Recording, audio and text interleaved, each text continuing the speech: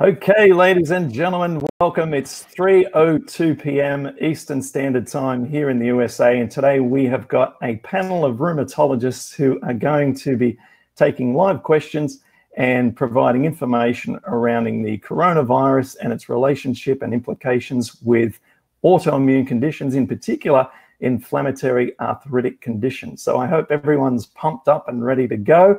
Uh, I'm over in Florida. Uh, we've got one guest I'll introduce in a minute. She's over on the uh, on the west coast in in California area, and we've got two on the east coast. And we'll meet our special guest in just a minute.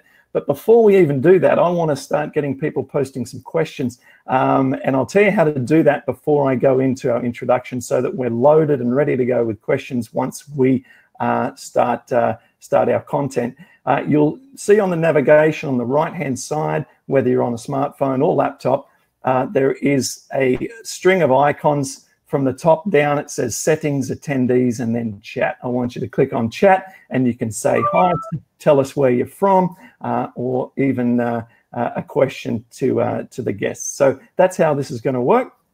Um, today's event, although we have specialist medical doctors, uh, is not specific medical advice for individuals. Today's event is to provide general guidelines um, based on the information available in the published literature and their and uh, and and general uh, best practices for these um, special times that we're in. But certainly speak to your individual uh, primary care physician or rheumatologist to gain the specifics about your condition before making any changes, especially to your medications. Okay, so let's meet our very special guests today. We have three. First of all, a good friend of mine who I have respected and regarded for many years is Dr. Nisha Manek. She's a rheumatologist and pioneer in integrative medicine for the treatment of inflammatory diseases. She is also an alumnus of Mayo Clinic in Rochester. Hello, how are you? Hey, good to see you, Clint, and really good to be on your program today. Thanks for jumping in for this very important webinar. And I also want to say thanks to my friends, Dr. Jose Pando and George Munoz. I know you're introducing them, but glad to be here. Yes, and they wouldn't be here except for you. So I'm very grateful at you co-organizing this for me and bringing in the A team. Our A team uh, consists of Jose A. Pando, MD. He's a board certified rheumatologist at Delaware Arthritis. Uh, uh, in Lewes. I'll have him correct me there, but certainly in Delaware. Um, he is uh, he takes a holistic approach to care, taking into consideration his patients' overall health, not just their symptoms or disease. Thank you, Dr. Pando. Thank you, Clint. I'm glad to be here, and thank you, Tanisha, as well. Absolutely. And finally, uh, Dr. Munoz is a board certified rheumatologist he completed a postdoc fellowship in integrative medicine at the University of Arizona Center for Integrative Medicine. George personally possesses a wide skill of training, including traditional Chinese medicine, acupuncture, homeopathy, energy medicine, and martial arts discipline. He is a national speaker on topics including nutrition, arthritis, and inflammation. So, thank you, Dr. Munoz, for joining us today. Thanks so much for having me, Clint. And I have my friends and colleagues, dear friends and colleagues. Nisha, thanks for getting us all rounded together. You're a great organizer. thanks to Clint. yes, well, we're all very happy to be here and we're all very grateful for the huge number of people who've joined us today. We're well over 400 guests uh, on this webinar and the questions are coming through thick and fast. Now, in anticipation for this, I have fielded a lot of inquiries oh. about about this uh, event, and the primary one, of course, concerns medications because of the risk of the coronavirus and whether or not they are counterproductive for prevention of getting this disease. So we're going to get into the medications specifically. And for everyone who's posting questions about their specific medications, we're going to drill down on non-steroidal anti-inflammatories, we're going to look at the steroids. We're going to look at the disease modifying anti rheumatic drugs and biologic drugs. We're going to get into specifics on the guidelines around each one of these. So just sit back and we will get to those in just a moment. And just before, though, my first question to the panel, based on some of the pre questions that we have, uh, if you have an autoimmune condition, such as an inflammatory arthritic condition, Are you therefore inherently more likely to get the coronavirus? May I speak to this? Um, if, if I may uh, just give a perspective from the data that came out of Wuhan, China. And this is very interesting. Um, this was published in the Lancet Journal on uh, March 9. So it's about three weeks ago. And what these Chinese physicians noted uh, was that when people with serious COVID 19 were being admitted to the hospitals, they made a very interesting observation. And it was this patients with systemic lupus were not among the people being admitted. So, right away, this was a very curious clinical observations. The people that were being admitted to the Wuhan hospitals were people older age, over the age of 65, people with heart disease, high blood pressure and diabetes. Well, why don't people with lupus get serious COVID 19? That doesn't mean they don't get infected, but the more serious infections were the other folks. And that's where they started to ask a very important question Is it because people with lupus take hydroxychloroquine? This is a very, very well known medicine in the rheumatology tool bag it's been known for over 50 years or more. So we have good understanding in terms of clinical usage. And it's the anti-malarial medication that has really got the FDA's attention. So already we had some clinical clues from Wuhan that people with lupus who take hydroxychloroquine may have a milder disease or certainly are not ending up on respirators. Now, this also harks back to SARS 2, the original SARS or coronavirus infection in 2002 and 2003. It was known at that time that antimalarials may have some protective effects in vitro. Okay, this is test tube data that shows some protective effects. That means it seems to have antiviral effects. Viruses don't replicate as fast in the presence of uh, hydroxychloroquine. So now we come to this current pandemic. What does this mean? Well, there's been some clinical experience in France, Marseille. They used Plaquenil with an antibiotic in people who are very sick with COVID 19. And the French experience shows that if you treat people in hospitals and ICU with Plaquenil, then they seem to clear the virus faster, okay, statistically faster. Now, if you add azithromycin to that, they clear it even faster still. Why that should be, we don't know yet. Okay, so there's some unknowns here.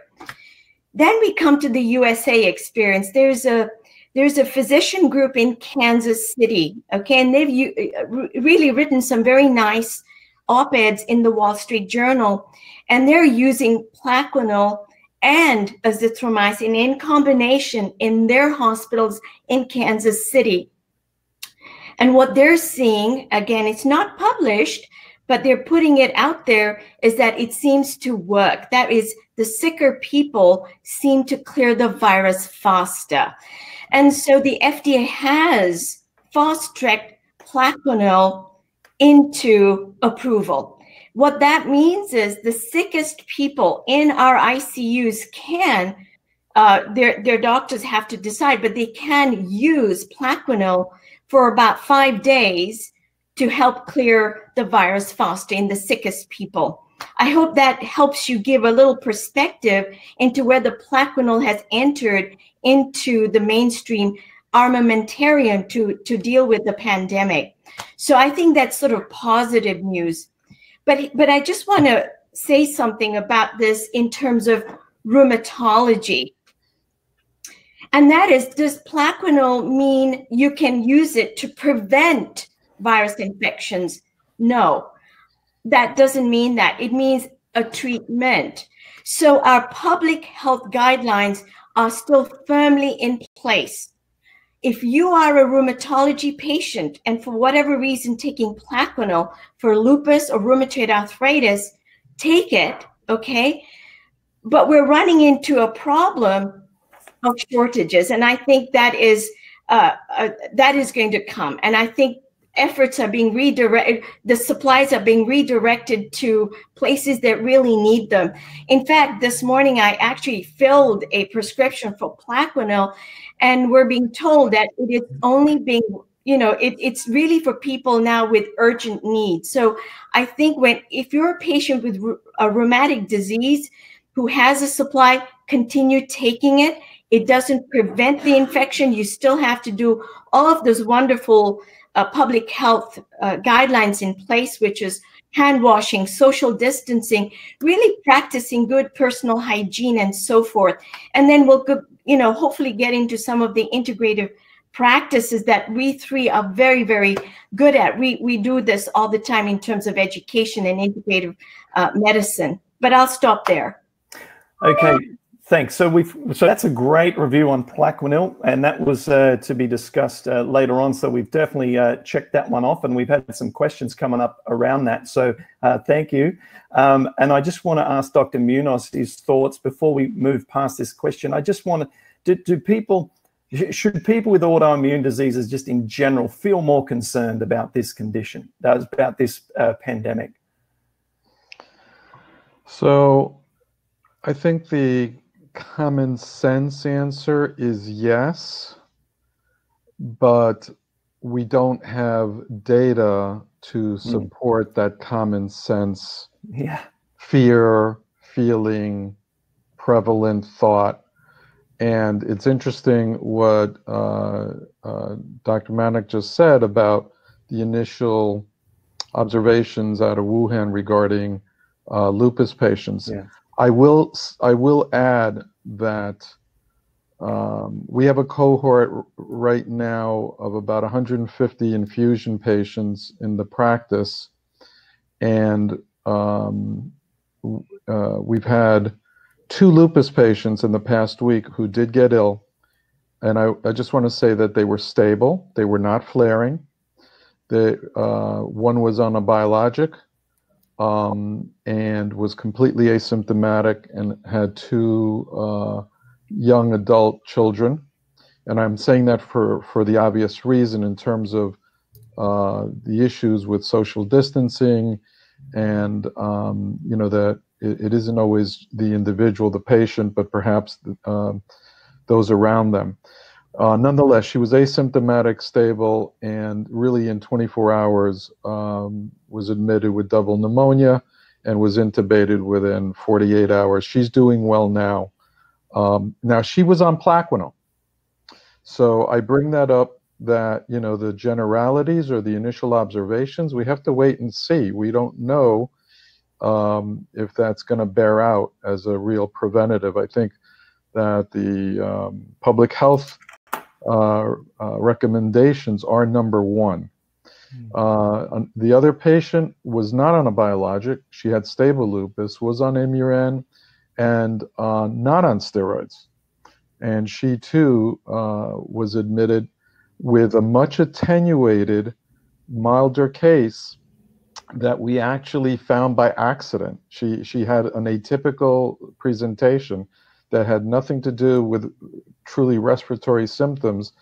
And um, we found a pneumonia on a CAT scan looking at her belly.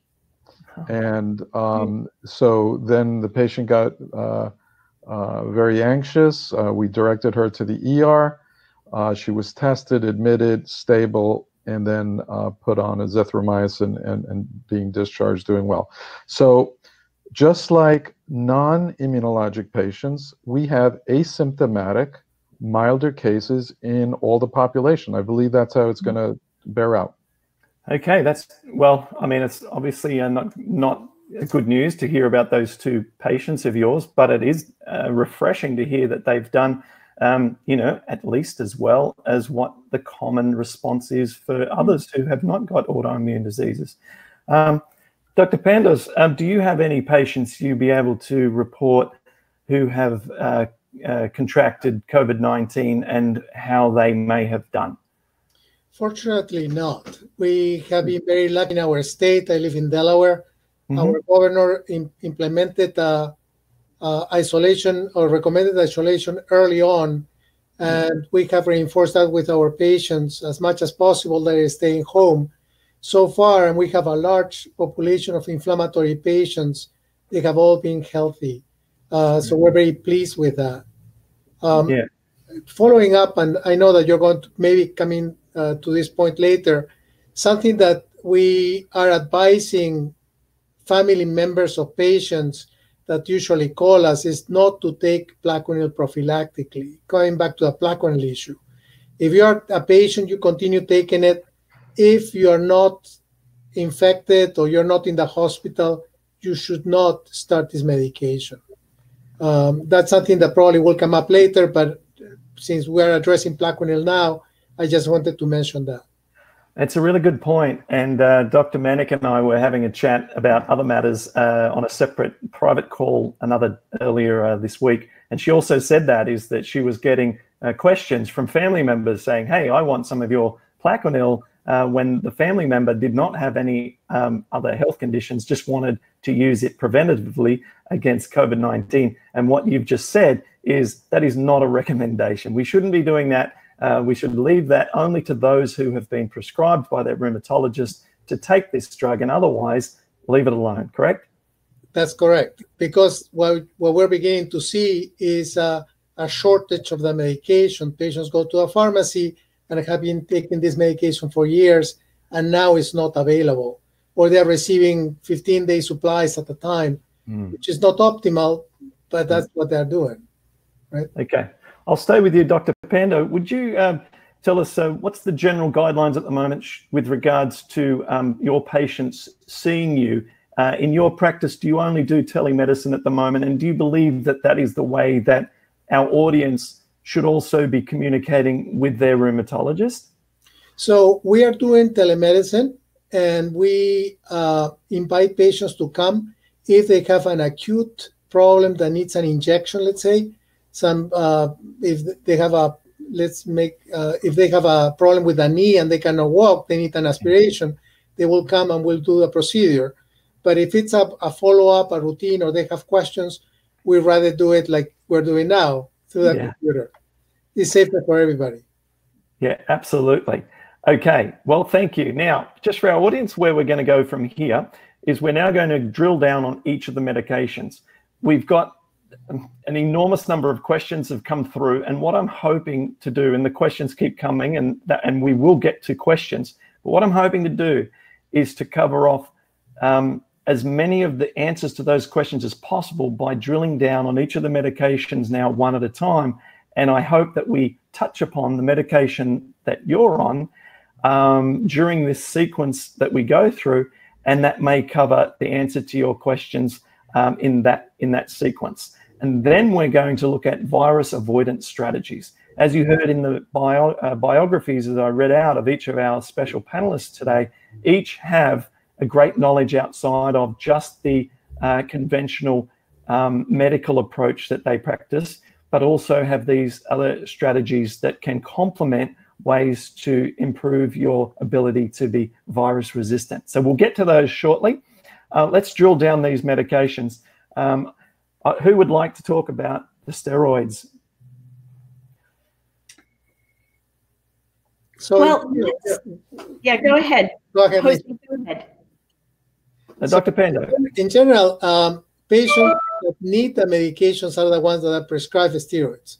If you are taking steroids and hopefully you're taking the lower dose that you can, you should be uh, you should not stop them. You should continue taking whatever medication you need to maintain yourself stable from immunological point of view.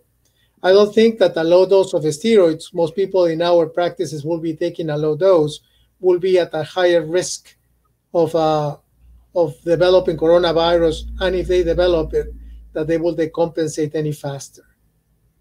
Right. Okay. So, so I think it's, uh, if I may also echo Jose, when we use something like prednisone, it's a very powerful anti-inflammatory. And at a certain dose, it becomes immunosuppressive. And I think that's the balance we're always looking at. And generally speaking, um, doses of 10 milligrams of prednisone and higher, it would be considered immunosuppressive. And in fact, for certain conditions such as polymyalgia rheumatica or rheumatoid arthritis, where we do give prednisone initially for very uh, fulminant arthritis, you know, sometimes we actually give a, a back, uh, an antibacterial called Bactrim to reduce the, the likelihood of them getting infected while they're taking prednisone. That doesn't mean everybody should be doing this, but in selected cases, especially older people who are on steroids, above the uh, dose range of above 10, you are reaching into immunosuppression. Below 10, I think then you see the more anti inflammatory effects.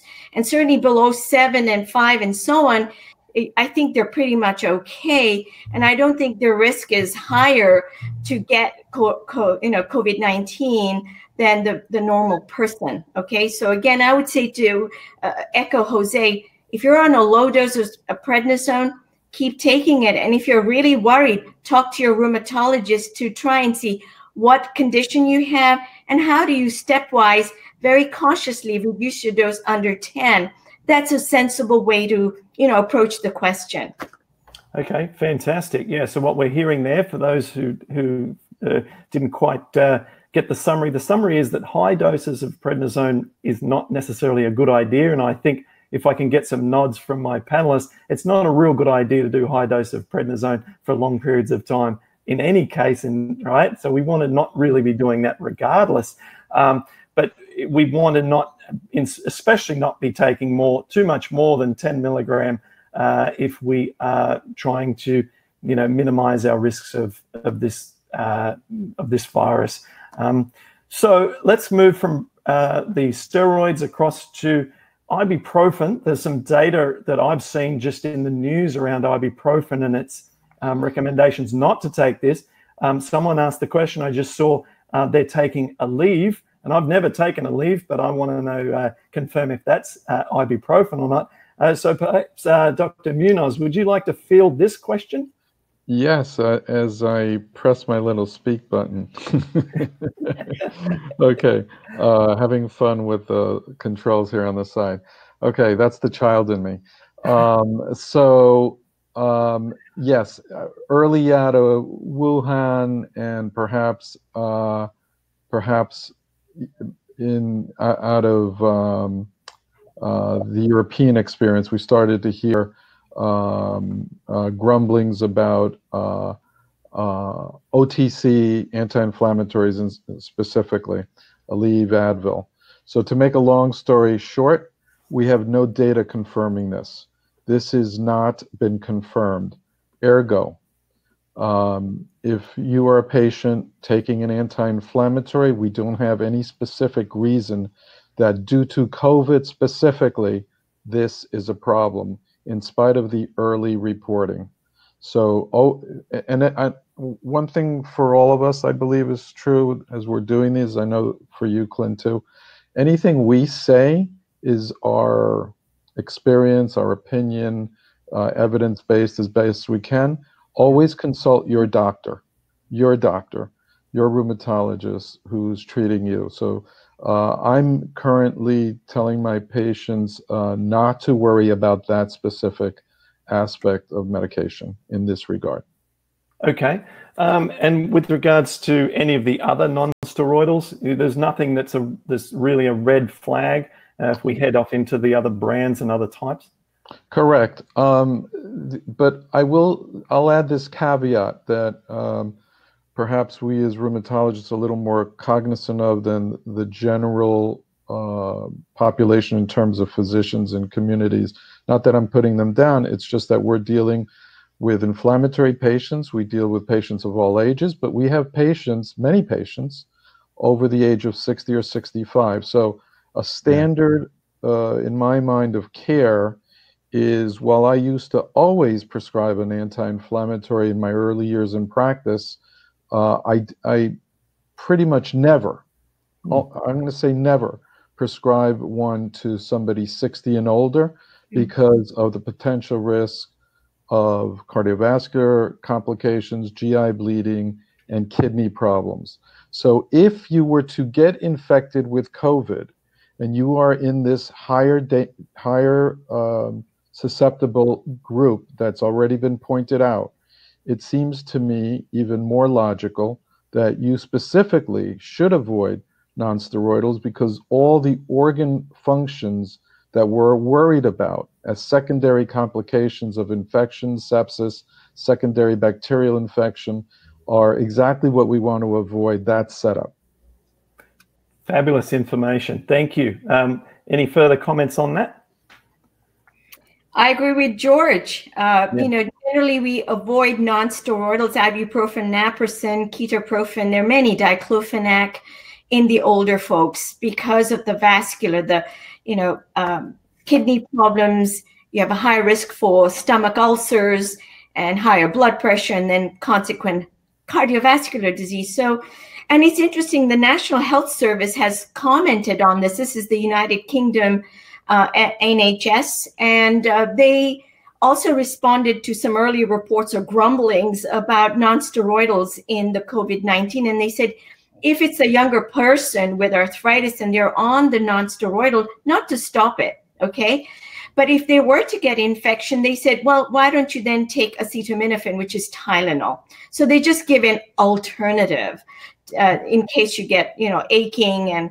But most of our folks, you know, in the younger age groups who are taking nonsteroidals do have inflammation, and if you need it, by all means, with safety in mind, take it. Okay. Yeah. Okay, yeah. fabulous. Yes, go ahead. I would like to mention that it is important to source the information, right? I mean, mm-hmm. what George was mentioning uh, was originated from a case study from a young person, I think it was in France. And from then they extrapolated that non-steroidals were not good. So you can you have to know where where everything is uh, where the threat originates, because one patient doesn't mean much right? It was unfortunate for this person, but uh, you cannot generalize a case report. Yeah, understood. Thank you. And now let's get into a topic uh, that's uh, very popular amongst our questions here, and that's uh, methotrexate. So let's talk about um, people who have been taking, let's say someone's on methotrexate, um, and then we'll even get into some of the other disease modifying drugs. But let's start with methotrexate. If you're on methotrexate, does this increase your risk of getting this virus? Jose, you want to take that? Sure. I uh, I do not think so. Uh, hmm. You're you're uh, when you are uh, methotrexate will, will affect your immune system in certain ways, and I think that doesn't necessarily. At least I'm not aware of any information that will increase your risk for a viral infection. Um, I don't know if you guys have read anything about this, but uh, I have not seen any information that will increase your risk. Oh my God. Jose, you know, the way I look at methotrexate is that it, it regulates the immune system. It's immunomodulating and not so much immunosuppression mm-hmm. in the doses that rheumatology uses. And, and I think Clint and I had talked about this um, in our conversation that I think people on methotrexate they have normal white counts, generally speaking, and they're immunocompetent, right? So uh, I don't think, as you said, Jose, they're at higher risk. And and my literature search, I didn't come up with anything either. Yeah. The only caveat I'd like to add to that, and I agree with with uh, Jose and Nisha on this. I, I don't believe it's immunosuppressive, but there is a subgroup of patients who are more susceptible to methotrexate in terms of toxicity, and they can develop uh, blood abnormalities, white cells, anemia, uh, low platelets, any of the cell lines in the bone marrow, if they are inherently deficient of folate mm-hmm. for any reason. And then we have to think about uh, these mutations that are common in the general population. They're called SNP mutations and therefore they are of the variety of about half the population carries them, some more in certain ethnicities, but they're the so-called MTHFR, M as in Mary, T as in yeah. Tom, H as in Harry, F as in Frank, R as in Robert, the the um, methyl tetrahydrofolate reductase sy system is responsible for energy in the cell. So if you have this mutation and you have the whole mutation, meaning you have the whole mutation from your mom and your father, you are therefore homozygous, then um, methotrexate could become a problem uh, for you if you're not taking the right type of folate.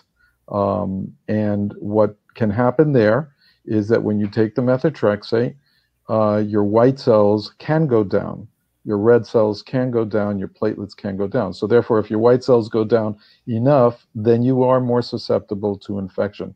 That that aside, uh, I agree with our comments. Okay, great. Again, this then comes back to your comment before and what I said right at the top, Dr. Munoz, about needing to get this specific information from your from your rheumatologist because um, that that level of detail is obviously very case specific. Correct. Right. Okay. Great. Okay. Um, so, so we have a question. Uh, someone has come off their methotrexate uh, because of the uh, fears that they have, um, and is asking now that I'm not on my immuno uh, controlling, modulating medication, and I'm on no medication. Am I at uh, am I in a better situation? Um, well, I think we talked right at the start that, you know, uh, Dr. Munoz, you said that um, common sense or at least intuition applies that generally, you know, if you have an autoimmune disease, whether or not you're on medication or not, you tend to be at an increased risk. So I don't believe we need to go further into that. We're all in agreement with that, even if it's just an intuition that's not obviously confirmed because this disease, this virus, only been around a few months and the studies have not been done, correct? Correct. Correct. Correct. Good. Okay. So moving along to just the other range of disease modifying drugs before we close out with some biologic uh, discussion. Um, oh boy. These, the sulfasalazine um, is one that I had on my list. Um, any comments around that being anything out of the ordinary? No? Not really. I mean, it's not, not with other medications. It will not that there's no information and and yeah. my understanding is other countries have looked after as Nisha said years ago after the sars they have looked at different antibiotics and the only one that shows uh, in vitro and uh, um, an effect decreasing the replication of the virus has been plaquenil yeah okay um, all right well let's move on to the biologic drugs uh, dr munoz um, you, you, made a little uh, a, little grunt uh, when I mentioned them. People are concerned around their biologic treatment. Um, you know, it, the questions. I'm just watching questions. By the way, I know that I haven't specifically read out people's names and questions at this point. That's because the bulk of what we're going through now, I, I anticipate, is answering a lot of these questions um, in a sweeping way. So that's what I'm hoping to do. Um, but I'm, I'm noticing as questions pass up on my screen here uh, several people are taking different types of biologic drugs, Cimzia, Humira, Enbrel, etc. Um, can you please uh, pass some commentary around their their likelihood of risk? So I'm going to start start this by saying once again, it's like the the the ultimate disclaimer. Uh, please always discuss this with your rheumatologist. Again, uh, there are stylistic differences, there's experiential differences, where one practices, what city you live in, your age, your general health, so many variables. So I'm going to speak in generalities. Uh, I am of the school, and I know that all uh, if we had 10 rheumatologists, we might get 10 different answers on this, okay? I think uh, uh, Dr. Pando, Dr. Manek, and I tend to, in general, be pretty well aligned. But this is one area where we may, may be a little different. Uh, so the biologics um, and what their effect on COVID uh, is, in my view, is as follows. We don't have any data, really, as to the safety or lack of it with COVID specifically. What we have, in my opinion, is some generalities about the autoimmune diseases and what happens with uncontrolled inflammation. If we have a patient that is uncontrolled, their risk of infection is actually higher.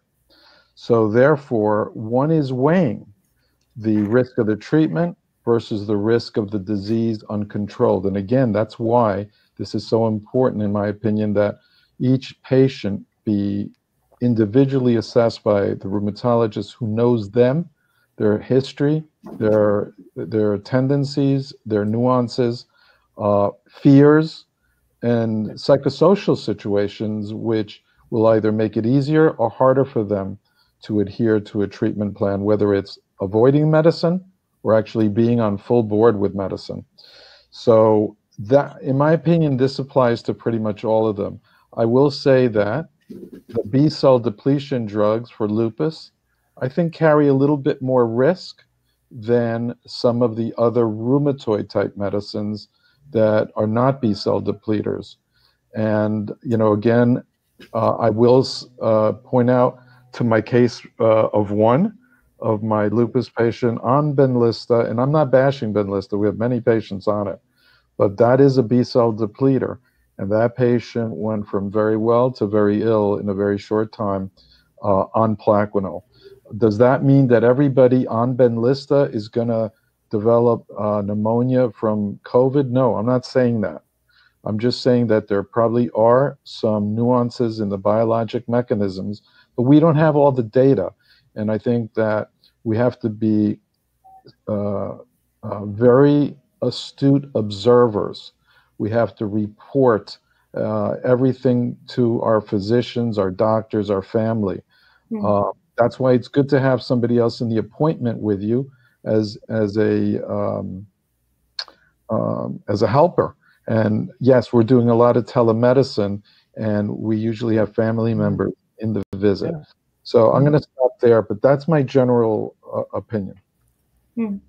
Can, before we have another comment about that, um, would you say, therefore, that C reactive protein levels are proportional to risk, risk, uh, infection risk? So, um, so one can say that you know we have we have the um, that might be an oversimplification. Right.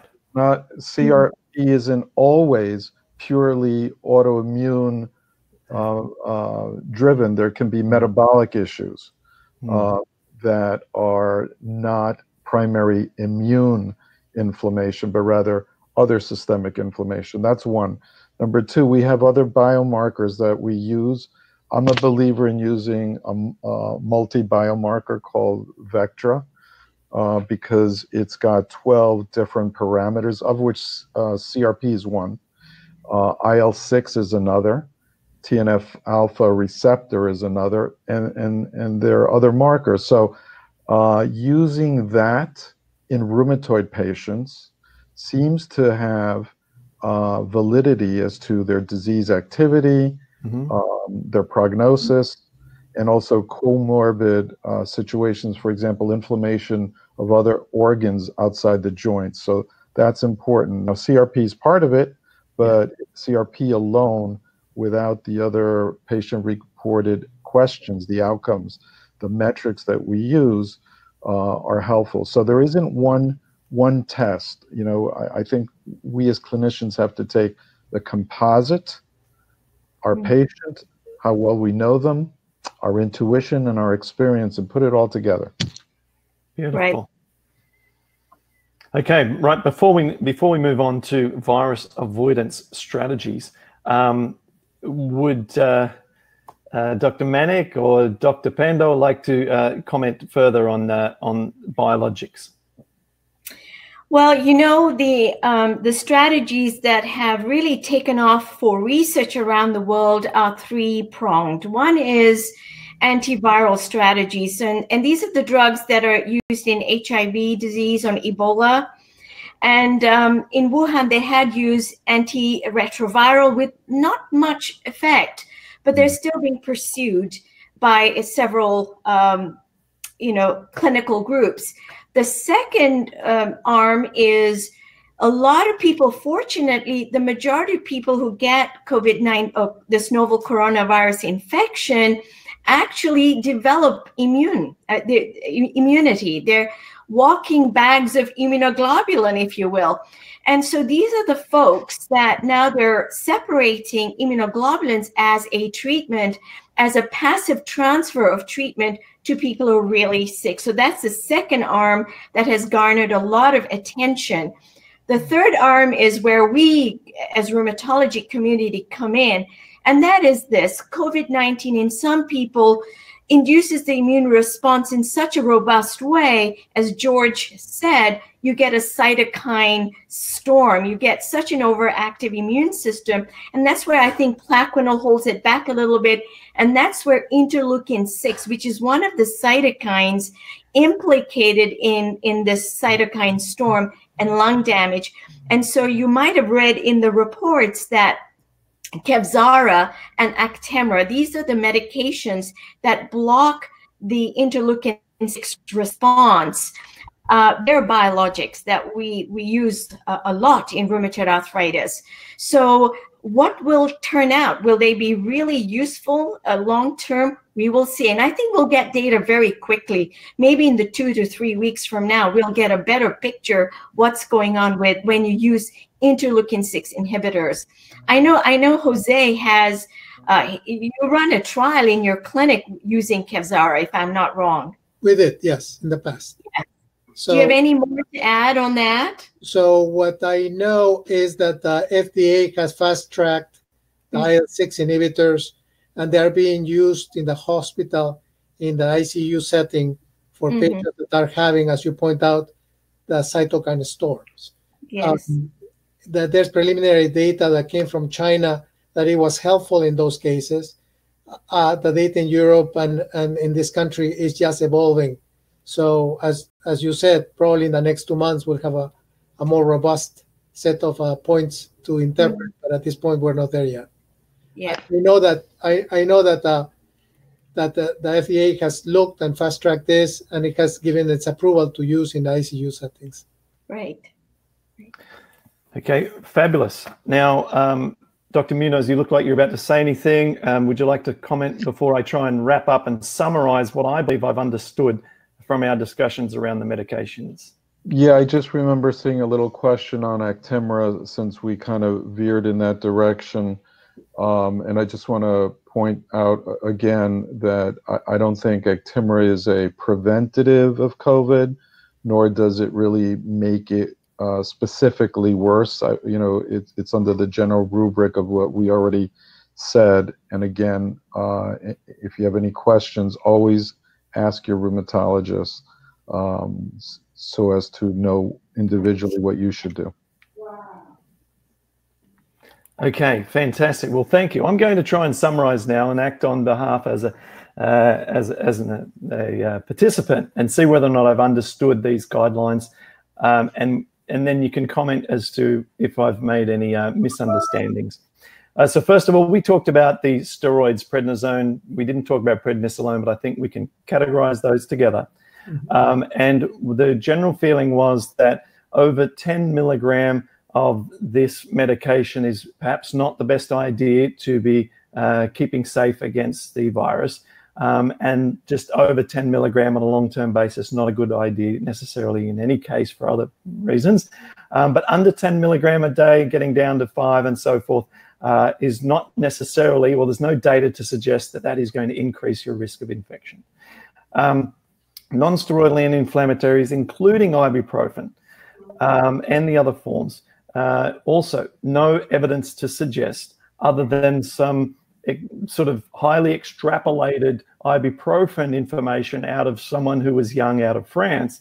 Uh, other than that, it's there's no reason to become terribly alarmed about non-steroidal anti-inflammatory drugs unless you're a person over the age of 60 and it's because of those medications and their uh, contraindications um, with other body parts, not related to rheumatoid arthritis, but these other conditions that those drugs may exacerbate, especially if you were to contract the virus. And so uh, Dr. Munoz pointed out that um, he thought, you know, in his clinic, he doesn't prescribe these um, non-steroidal anti-inflammatory drugs anyway. And so uh, it's a discussion for your rheumatologist as to whether or not, uh, especially if you're over 60, uh, these should be used.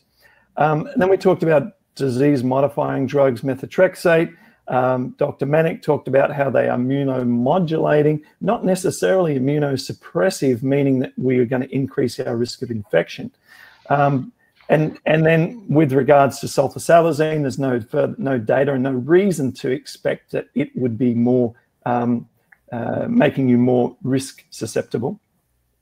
And then earlier in the call, we talked at length about Plaquenil, and we came to the conclusion that if if you don't have an autoimmune disease and haven't been prescribed it, then don't go trying to steal it off someone who takes it. Right?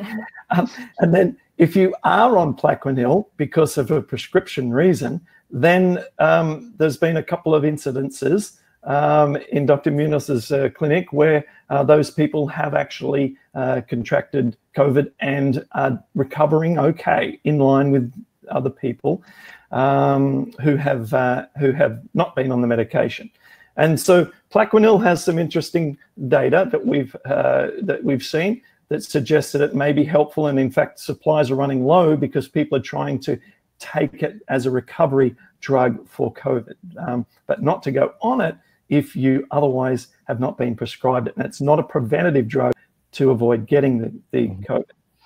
Finally, we talked about biologics, and what we uh, gathered in the biologic discussion is that a controlled inflammatory arthritic condition through biologic drugs is a safer situation to be in than than uh, coming off the biologic drugs as a mechanism to reduce your risk of infection and then having a uncontrolled high inflammatory state that hmm. shows up a high marker on a Vectra score, um, which is going to actually make you at more at risk than what you would have been if you were on an, a biologic drug and controlling your symptoms. So that's what I picked up. Have I missed anything or do I need correcting?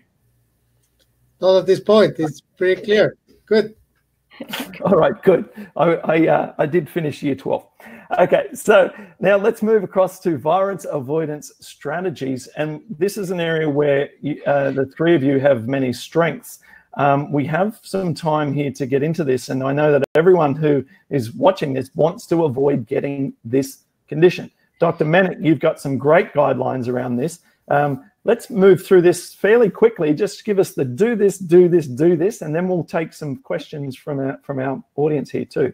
Right, right. And, you know, and George and uh, Jose just jump in, but how I see it is that you have in your kitchen right now many, many things you can implement right away to have antiviral effects and immune boosting effects right away.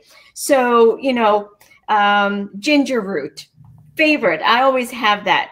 Drink lemon water. Wonderful stuff. Okay, so teas, hot drinks. Mm-hmm. Throw out the junk food. Folks, throw out the junk food. Throw out the soda pop. Forget the sugar. Just those few things, you're already really in a good position. Okay. Then we have many, many other botanicals and supplements that really add on to uh, really keep your immune system in tip top shape. And I want George and Jose to say some things on that because I want them to have a chance to speak. Go ahead, Jose. Weigh in on this. So the basics, because probably your your your audience client is asking you about the basics. What can they do? Mm-hmm. Well, if they take their zinc and vitamin C, that's a good start starting point, right? Just to to take uh, to to have a combination of zinc and vitamin C. In some cases, adding elderberry. I don't know if uh, if it's widely available here in the states. It is. So adding uh, elderberry is helpful, and um, and and also it's important to keep in mind that vitamin D is helpful as a preventive. But if you unfortunately get sick, you need to stop the medication then. So uh, vitamin, D, vitamin D you don't take if you have the virus. Okay, so that's a key point. I'd never heard that before. Okay, so um, if your vitamin D is preventative, but if it if if that and everything else doesn't stop you from from getting it, then you got to stop the vitamin D. Yeah. Yes. So um, all this information has been shown to be effective in not necessarily coronavirus, but in some other viruses. And Right. so you, we're extrapolating information that we have gathered from other viral diseases and using it and hoping that it will work for coronavirus as well. Right? Right. That's important to mention. Uh, yep, yep, makes sense. Okay, so we've got zinc, vitamin C, which I take with uh, the I take using the um, uh, lipospheric uh, vitamin C. Um, uh, Dr. Manek uh, and I have spoke about that. Seems to be a good way to go. Um, elderberry, uh, vitamin D. Uh, have I missed anything that's a no-brainer? Like, go and do this for sure. George? So, you know, I I take um, I take curcumin as my usual. Uh, that's an anti-inflammatory, uh, natural botanical that has many properties, um, uh, many upstream properties in, in the nucleosome, uh, inhibiting uh, inflammation, very high up in, in the chain of command, we might say. Hmm. Um, I like boswellia. I take vitamin D. I take omegas. So basically, during COVID, I'm just doing what I always do, which is I take omegas, zinc, curcumin, folate, um, uh, uh, vitamin C. I like an extended release that's buffered for me. Why do I do that one? Because it lasts all day and I don't have to think about taking things multiple times. Hmm. Um, what else? Um, I, I'm going to say that besides the botanicals and the things we've mentioned, some of the minerals and, and vitamins, I'm going to say that for me and, and for my patients, um, this COVID time period, the lockdowns, uh, I try to recommend that people get into a routine they're comfortable with and that mimics their life. Because if you, um, what, what I believe has happened for many people, myself included, is the disruption in the regular pace of the day creates stress. So, stress reduction, breathing, meditation, uh, getting back into exercise, uh, getting my routine back into an organized way helps me uh, cope with the constant changing because there's going to be constant changing here. The story is evolving. We are not in control of many things, but we can control how we react to the situation. So I'm going to stop right there. Can I just uh, give a just? I like that. Have a routine. Have a routine. If folks are worried about, you know, the supplements and doses, I I had written a little um, guide around my book, Bridging Science and Spirit, and vitamin D. Many people are deficient, and I usually take ten thousand international units for this period of time for the next couple of weeks. That will jumpstart your immune process. I agree with zinc take at least 50 milligrams daily. And I would add selenium to that, Mhm. 200 micrograms. Vitamin C, I like lipospheric because it's very quickly absorbed. Mm-hmm. Lipospheric means it's encoded with a lipid layer and it's absorbed very fast. Take a thousand milligrams at least. More if you can. If you don't feel so well or even stressed, take a couple more grams. It's fine. Uh, curcumin, yes. And if you're looking for a good uh, turmeric product, make sure it's standardized, okay? It'll say standardized on the label. And usually the dose is 750 milligrams up to 2,000 milligrams daily. If you don't get standardized, make sure it's with black pepper because it's absorbed faster. But it has very nice antiviral properties. So, yes, turmeric, yes, yes, yes, absolutely. And then we can talk about all the mind body Absolutely, yes.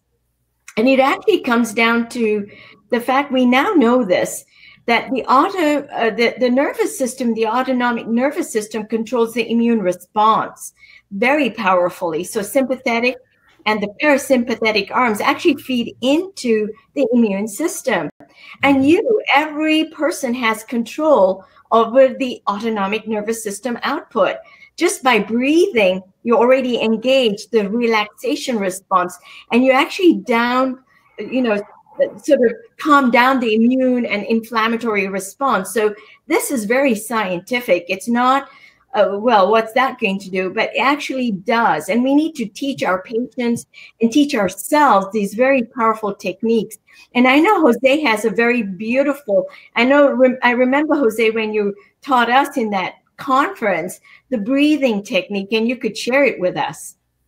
So that's something that uh, I learned from Dr. Weil. Um, mm-hmm. He has it. If you want a demonstration, we can do it here. I don't know if you have time, but it's a four, seven, eight breath which is you take a deep breath and a count of four, you hold it for seven seconds, and then you exhale over eight. Right? With that, you achieve two things. You decrease your your rate of breathing, and that will stimulate the vagus nerve. And as you stimulate the vagus nerve, that will create a back loop into your brain to cool down and create um, a, a, better balance of the autonomic nervous system as Nisha was mentioning before. That in, in this time, as George was mentioning, of high stress, we all can use a little quiet time and a little breathing time to uh, to calm down. Totally, um, and as part of you know my recommendations to my audience for the past seven on years, uh, exercise has been right up there as one of the most crucial factors for not just uh, health and well, mental well-being, uh, but also inflammation reduction. I've found exercise just outstanding for myself and for my clients. Thousands of people who just exercise as if they're, you know, really working towards a strong physical health, physical body. Um, and and now's a great opportunity to do that when we have so much more time on our hands and we can exercise at home. There's countless opportunities to watch videos of yoga or uh, you know, uh, home home workouts and so forth. Even Arnold Schwarzenegger's posting them on Instagram, and he's you know in his uh, 70s or something. So we can we can all take the opportunity to breathe more, which of course is going to strengthen our lungs. So even if we were to uh, unfortunately get the disease, we also then have stronger lungs and become more resistant to its effects,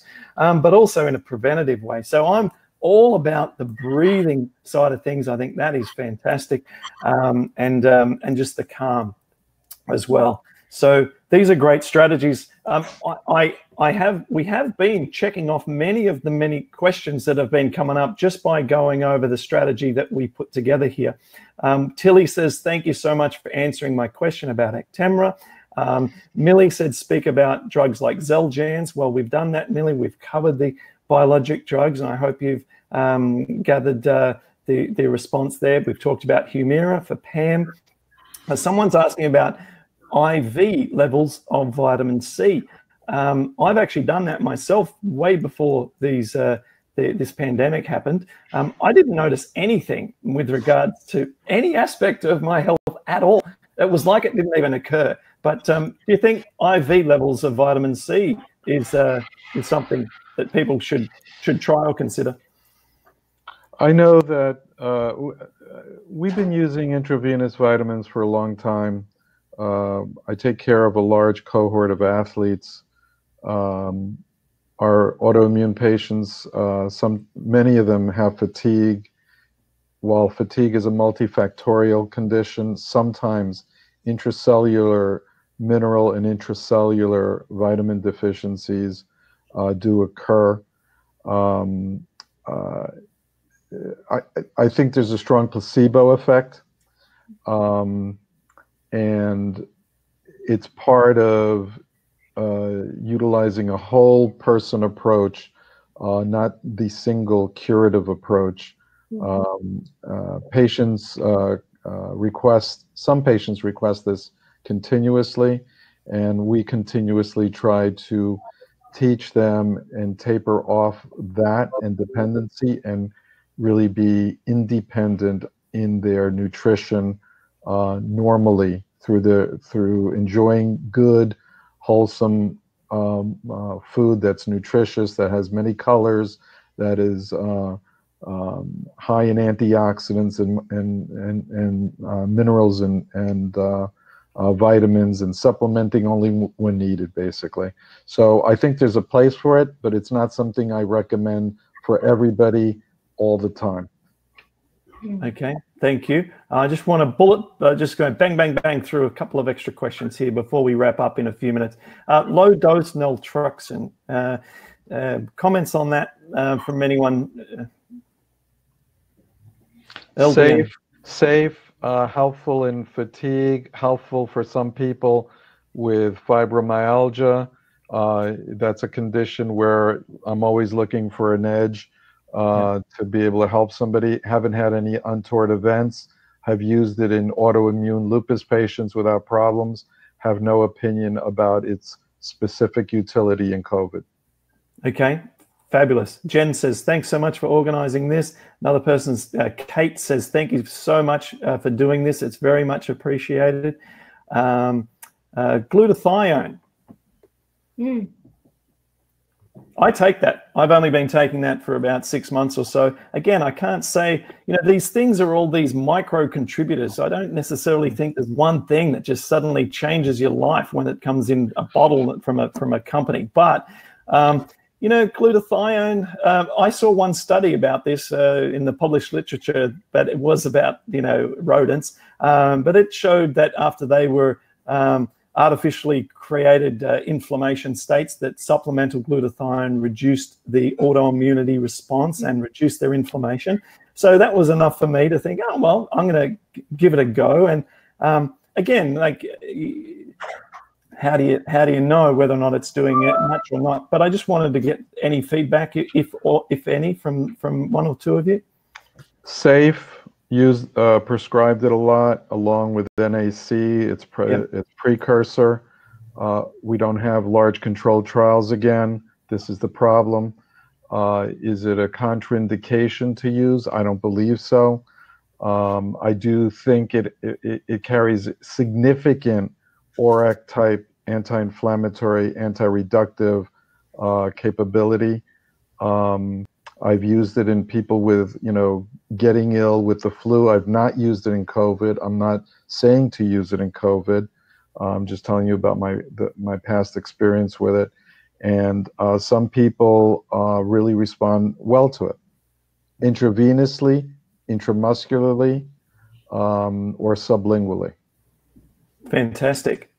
Okay, I'm now flicking through some more questions. A lot of people are just saying what they're doing, which is great, and communicating with each other. People are giving each other phone numbers to call each other and, and uh, offer like a community kind of feel, uh, which is fantastic. Um, uh, and again, a lot of the questions that I'm seeing here, we have covered in the bulk of our content, and they were posted before we answered these questions. Barb says, I just can't tell you how wonderful and helpful this is. So that is uh, really nice feedback.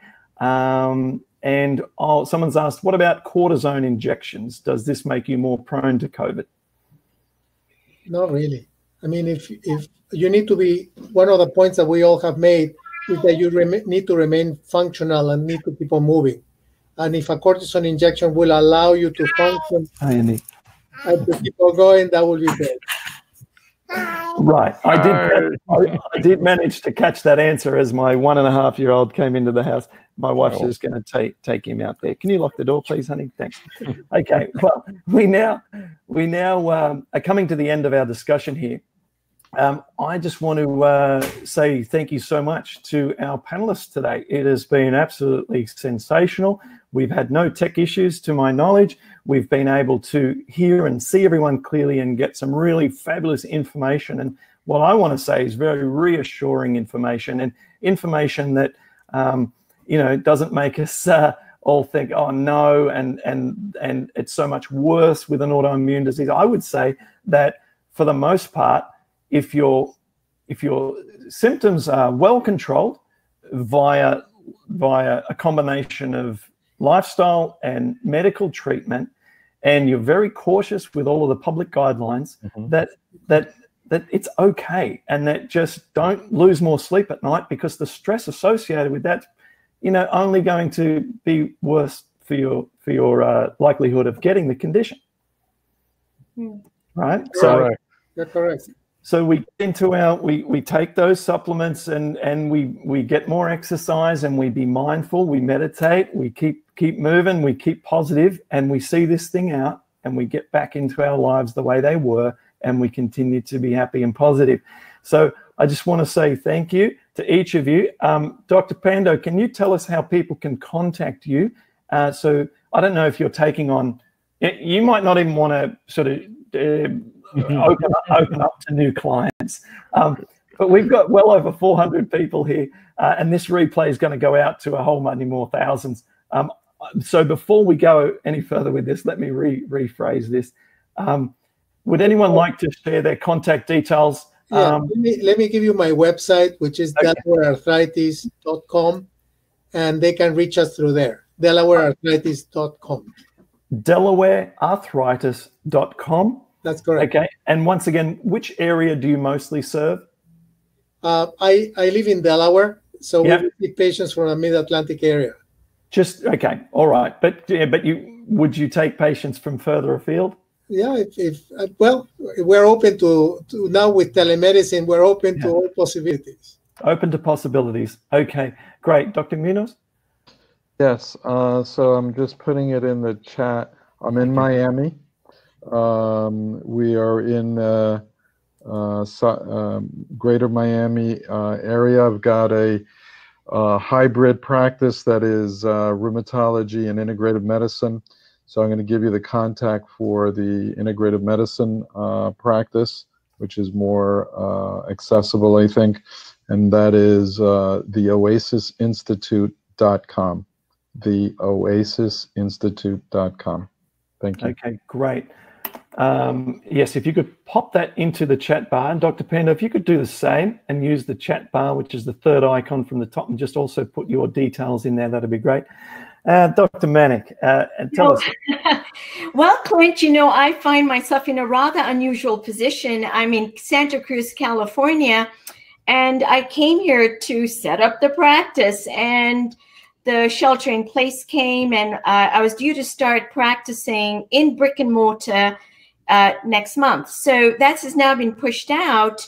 So I would just tell the viewers, stay tuned. Just look up Nisha Manek. Uh, in the meantime, I have a new book, Bridging Science and Spirit. So some of my energies go into really forming the program, that routine that serves us in the long term, doing all levels, the physical, the mental, the energetic, and spiritual. You know, today, Wall Street Journal said something I really enjoyed pray up a storm prayer works so with you know and it controls the autonomic nervous system. But mm-hmm. coming back to my details i hope to have a physical practice. I do do telemedicine for patients who are underserved in the upper midwest south dakota and minnesota uh, where most of my patients are. So i do do some clinical medicine through the telemedicine portal and it's a system that i'm, I'm actually employed to um, I will be looking at telemedicine on my own uh, out of California, and that I'm, I'm exploring some some options here. So stay tuned, and I'll let you know, Clint, and you can put it on your site. So thank you for that. I think that's that's a really good uh, suggestion. Why don't um, I have our specialists here all uh, just also email their um, their uh, contact information to me. And if anyone's unsure, just uh, email info at paddisonprogram.com and I'll be able to have a canned response reply. And we can just have my staff just click that and it goes out, and then you'll get the contact details of each of our special guests today. Let's just close off with some comments before I say final thank yous. Uh, so uh, Guinea says, uh, and I'm terrible at Spanish, muchas gracias a todos. Thank you to everybody. That's what it means. okay, thank you. Thank you to everybody. Um, Diane says, thank you very much. I echo that it has been very helpful. And she says, hello to my kiddos and Melissa. Melissa's my wife uh, that came in. Um, listen to this one. Teresa says, first time I have felt calm since this started. And the child, oh. yeah, okay. So, like that has, you can see how much benefit that has provided. First time she's felt calm since this started. And the child in me smiles. Thank you. Um, okay, and then we've had uh, agreed this was very helpful in capital letters. Thank you, Clint, and all. Um, hi to the little one. Hi. Um, what a gift this webinar has been. Thank you so much. Um, and then Joy, uh, Joy has another question. I think we're out of time for questions. It's regarding L uh, supplement, um, L-lysine, which is an amino acid, isn't it? Um, I, I, don't know if uh, uh, that amino acids either here or there in terms of COVID. We would have no data on that. Um, and then uh, Donna says, "Thank you. What a gift this webinar has been," says Evelyn. And I think that that uh, will take us right through. Uh, Sherry says, "Thank Stacy. Thank you so much." Uh, Kelly, many thanks to you all. Jill says, "Heartfelt thanks to you all." So, uh, and Therese says, "Thank you all so much. It's been wonderful resources, very reassuring." So you can see that the the, uh, the comments are really supporting. Uh, supportive, and I'm, I'm, I'm, I want to echo everyone's remarks and just say, uh, on behalf of our audience today, um, and the rheumatoid, rheumatoid community and the autoimmune community, thank you so much to our guests. So I'd really like to uh, extend uh, much gratitude to all of you. Thank you so much. Thank you. And muchas gracias back. Pleasure. Thank you.